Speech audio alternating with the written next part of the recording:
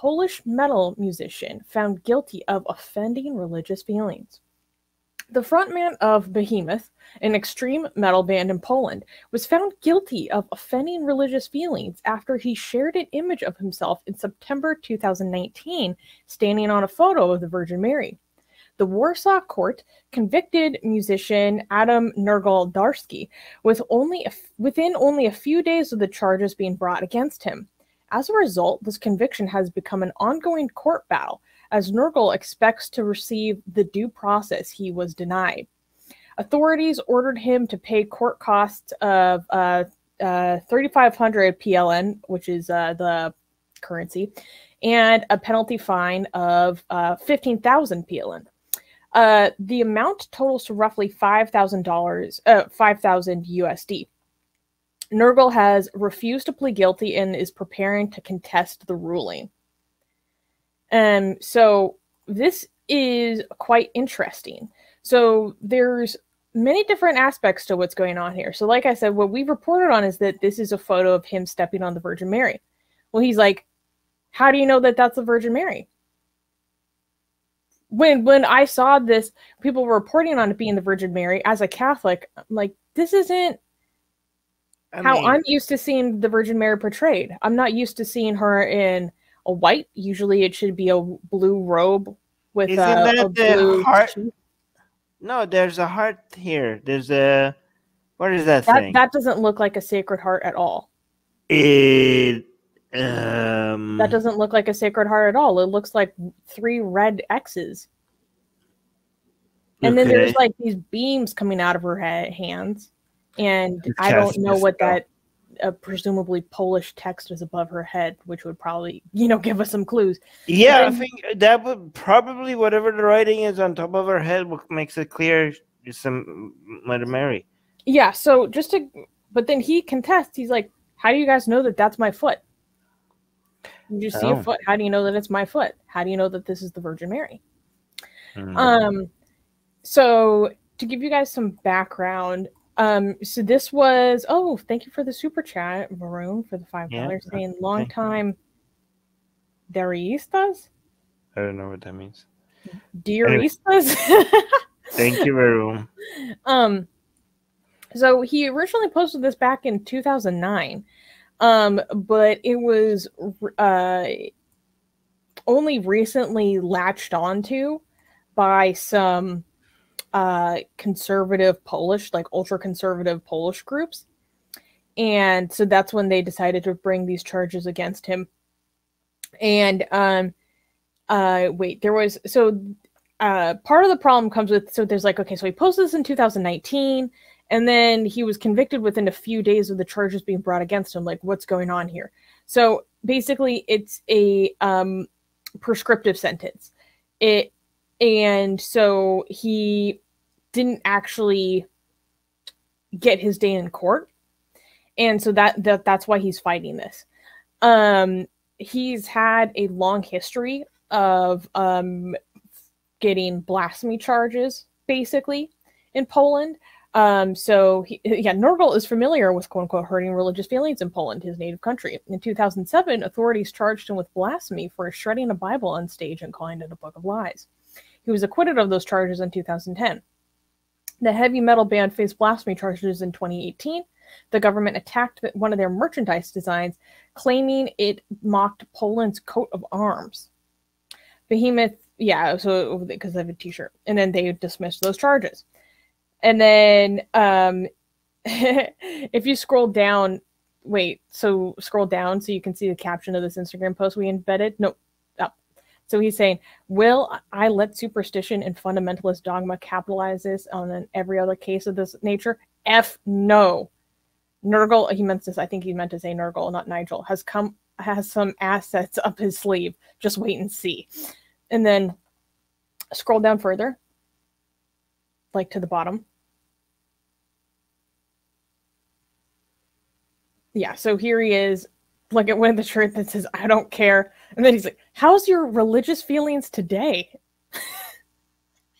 That's awesome. anyway, uh, and then and then scroll back up so you see the one in the post in the middle. By the way, Amazon doesn't let us sell shirts like this anymore.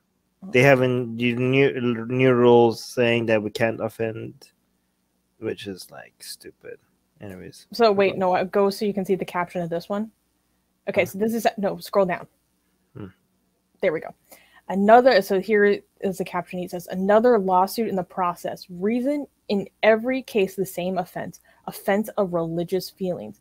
Can you imagine this? Wait, nonsense? for our audio listeners, can you tell us that this tell people that this is the caption of Yes, so this is what he said in an Instagram post.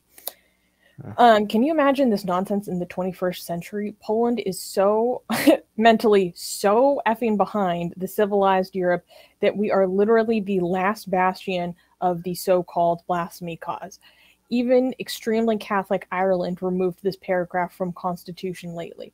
It will happen in Poland at some point, and yeah, I will be willing to be that stepping stone. F religious fundamentalism in every effing hole. and frankly, I'm sure I will win and every other case. Just wait and see.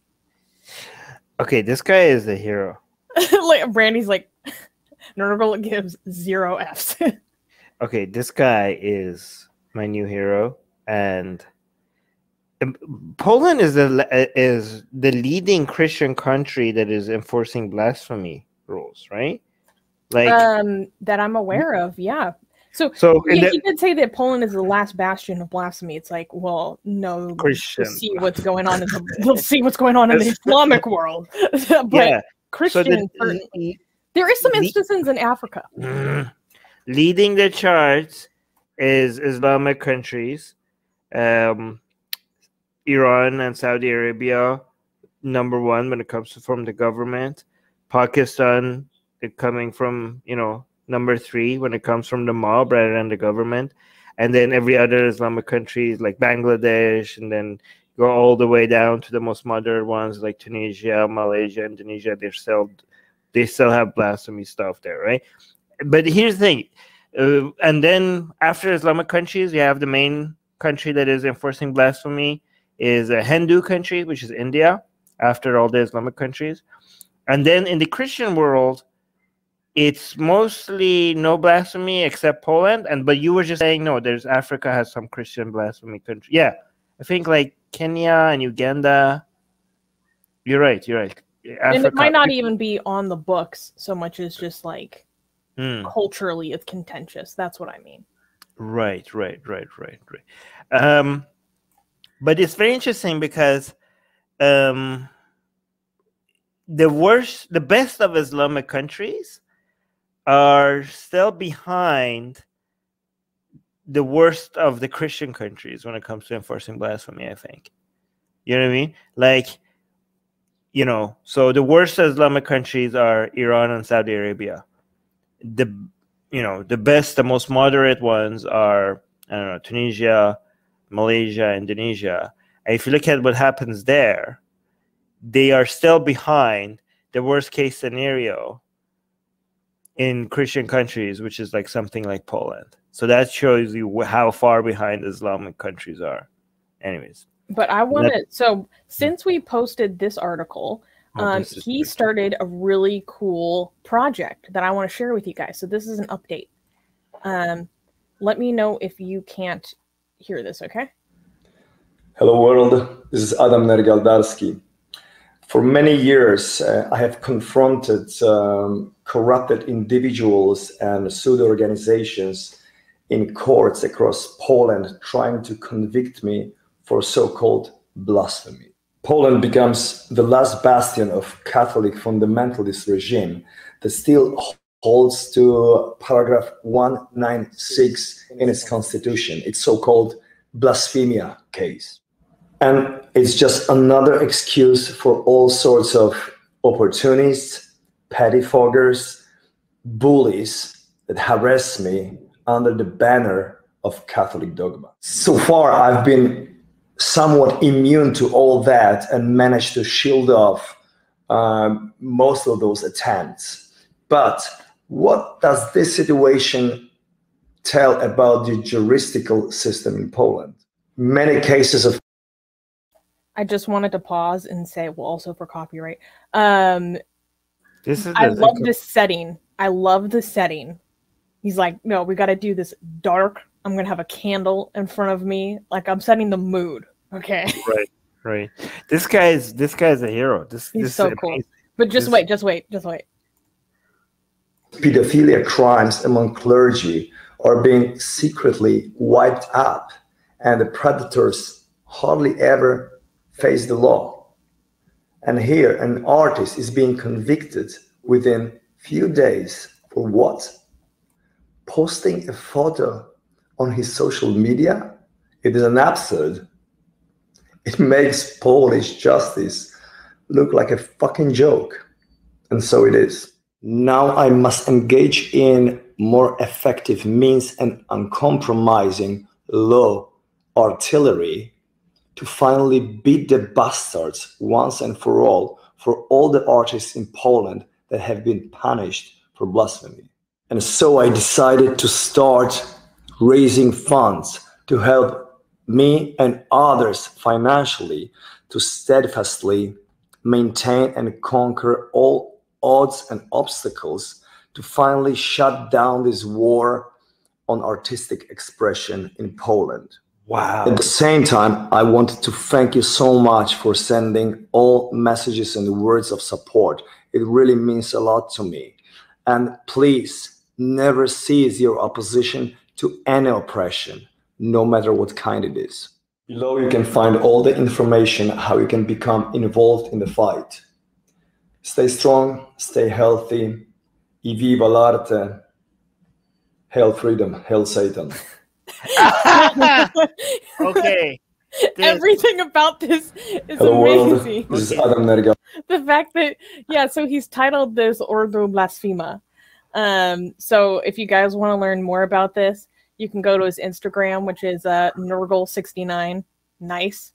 Um, where he has a uh, GoFundMe uh that is going towards his legal expenses and also uh other artists. Um just iconic, really. And his um I his Instagram is just amazing. Like, check this out. He posted this. And how's your religious feelings today, folks? he does this like every few days. And then this, so this is supposed to be the Bible, but it's just blah blah blah blah. blah. That's amazing. Wow. This is the guy this is the guy that we needed right now. This is what we what okay. This no, but amazing. this is funny. So I mean, it doesn't um, it doesn't translate it on my browser version. But uh, so this is all in Polish, but it like roughly translates to like a user's warning that the content on this profile may offend religious feelings. what it says in his bio. You know, All right. open at your own risk. Um we should we should do a blasphemous art in like in honor of what he's doing to support his work and all. Yeah. What what what do you think it would be? I don't know. We'll we can think of something. But by the way, guys, I just want to uh, mention that um, you you have to understand that this is. I, I know. I know. I don't want to constantly bring attention to something else when we're talking about Christian um, blasphemy and all, but this is used in Islamic countries to show to justify their blasphemy laws, right? This is a European country, and the fact that they have blasphemy laws, I have as somebody who follows like the news in Iran and some other uh, Islamic countries, they use this as a as a way to say like, look, this is what you guys are suggesting that is barbaric, ancient, dogmatic. Even European countries have that, right? So the disagreement should not be whether blasphemy laws make sense or not. The disagreements should be on what's blasphemy and what isn't. They use this as an excuse to say, like, look, blasphemy is a thing. The, these these so-called you, you know advanced you know humanitarian countries they can't they know that they can't leave religion behind that some things are too holy some things are too sacred some things require protection right and having this kind like and again i know it's not comparable like they kill people for blasphemy, right? So I'm not defending their argument. I, am not even suggesting that it makes any sense, but they use these uh, laws in European countries or any any religious uh, enforcement, even in the United States, they use it as an excuse to show that uh, don't tell me religion has no place in politics. Even United, even North American countries have that. Even European countries have that. Go ahead, Susanna um it's really funny he I, I, love following him on instagram like he does um things where he mocks influencers like you know how people do unboxing but instead it's him unboxing like legal notices from the government about his platform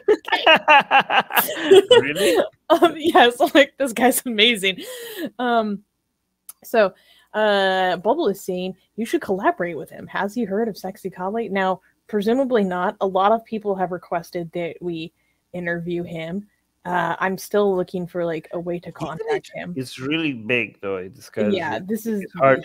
Yeah. Okay, so let me be honest. Okay, because I think it's really hard to get on this person's radar. One way to get on this per- person's is a sexy radar art.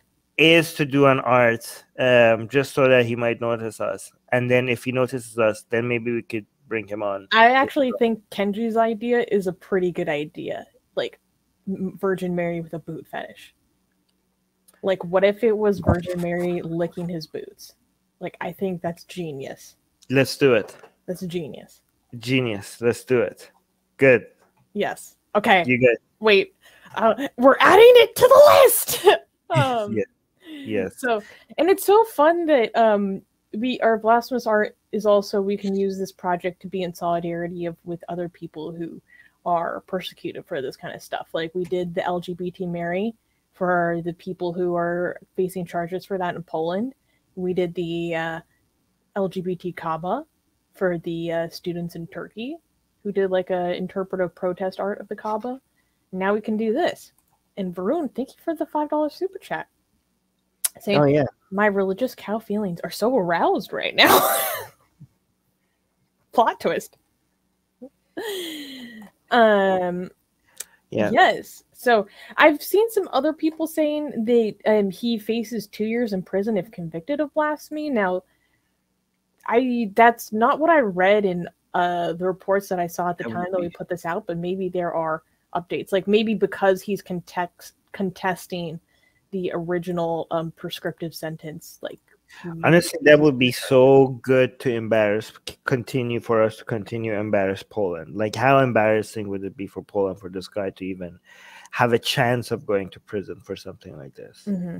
like highlighting this highlighting how barbaric and ridiculous and ancient like these like poland i mean can you even like oh my god like you, the European Union should like the, you should be embarrassed for this country to even be part of like be considered part of the civilized world where like come on guys.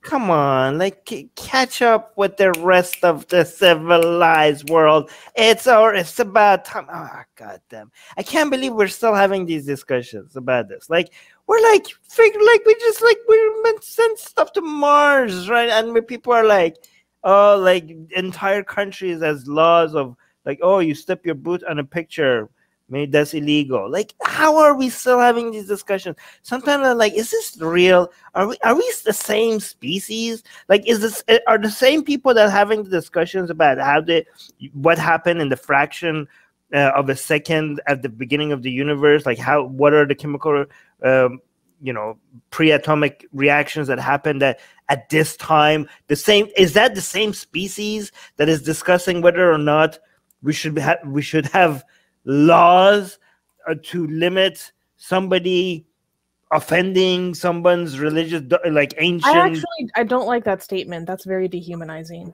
It is very uh, I, I don't I, I it is okay? But I wonder like I can't help it. Some I, so it comes it, i'm just saying it comes across to my mind. So how are we like the same? And i realize that this is like here let me let me undo it. I, what I, my conclusion is that we are like this is being human okay? The the people that have pushing us forward right? That are keep advancing science and uh, bring up bring the enlightenment and are responsible for modernity. They are the weird ones. They like everything that is making us move forward.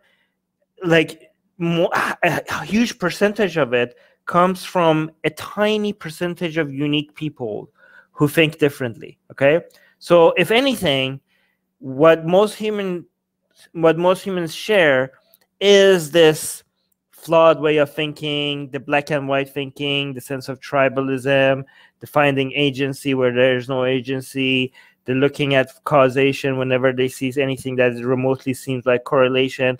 That is human, okay? So I feel sometimes like it, like I, this dehumanizing thoughts comes to my mind. Like, how are we?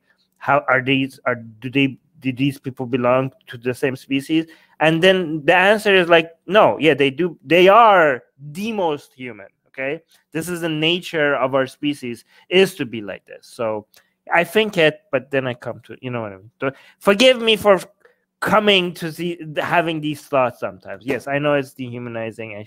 Um, so I don't endorse my guilty thoughts sometimes. Okay. Uh, hey guys, if you're a fan of blasphemy and sexy Kali, you know, like me, that means that you probably want more blasphemous art. Well, I have good news for you. If you subscribe to our newsletter, link in the description below, then you get a free booklet of some of the tastiest blasphemous art available today.